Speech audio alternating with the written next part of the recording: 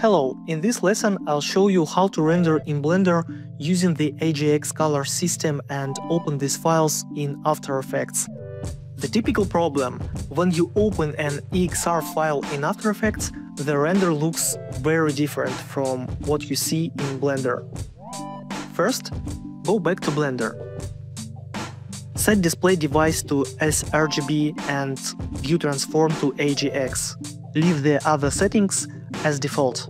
Next, go to your scene setting and choose OpenEXR multilayer. Make sure the Follow Scene option is checked to keep the AGX color system. After rendering the sequence, open it in After Effects. At first, the render may still look bad. Switch your project to 32-bit mode by pressing Alt-click on the bit depth setting. Now go to Project Settings, Color Settings, in the configuration, choose Custom and load the color profile from Blender's folder. The path to the config file is displayed on the screen. Set working color space to linear rec 709. Set display color space to sRGB AGX, the same color system you used in Blender. You need to interpret the footage. Go to Interpret Footage, Color Management and select the same linear rec 709 color profile.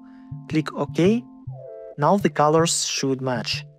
Finally, if you want to render this video from After Effects correctly, there is one more important step. Go to Output Module setting, Color, and select sRGB AGX. Now render it, and you will get the same color profile as in Blender. Share your thoughts in the comments, and that's it. Thank you.